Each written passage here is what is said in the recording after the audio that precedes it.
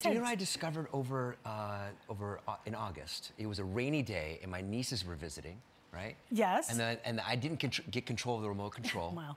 And they're 15 and they're seven, 16 and 17 years old, and it was a rainy day, and so they were watching. They, they had already commandeered the remote control, and they were watching Gilmore Girls. Oh my God. I had never seen it.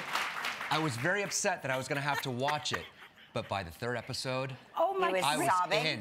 It I was in. He was crying. I think about Lorelai all the time. Oh, Lorelai. I think about your produce. Oh my. Pro- You're very particular about your produce. He was he was on a text chain with my nieces now called the three of them the Gilmore Girlers. That's oh the text my chain. God. Yeah, that show just It seemed- catches ya. It's the first time I had a regular job, and it was it was literally. I think I said by the time I'm 30, I was starting to do like production, and I liked that quite a bit, and I liked both sides of it. And I thought if I don't have a job by the time I'm 30. I'm going to go the way of production and try pro- pr- do production or producing or some kind of thing because it's just not going to happen. And I can't keep calling my mom and dad at 30 to be like, I'm $24 short on my electric Right, bill. right. Right. And then t- I think two weeks before my 30th birthday, I got Gilmore.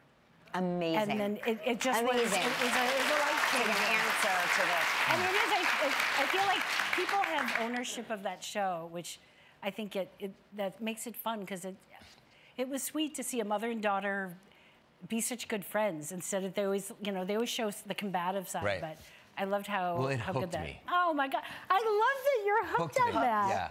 He's Oh a my Gil- he's a. Gilmore Girl. I'm a girler. You're a girler, guys. Who saw that coming?